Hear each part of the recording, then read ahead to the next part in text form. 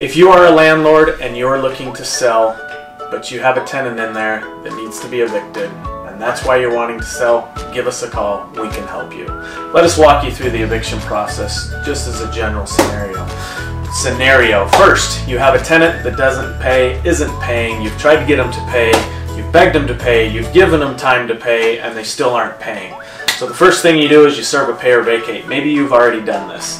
If they don't respond to that, then your next step is you need to hire an attorney. And once you hire the attorney, the attorney then does the correct paperwork to get uh, proceedings to go to court.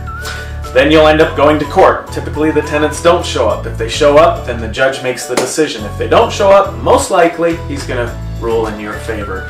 You're going to get that, and then if they still don't get out, then the constable gets involved. He comes in and he does what they call a lockout, where he forces them to move out of the home.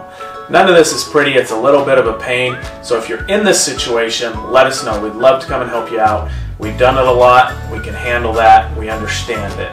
And we look forward to talking to you. Thank you.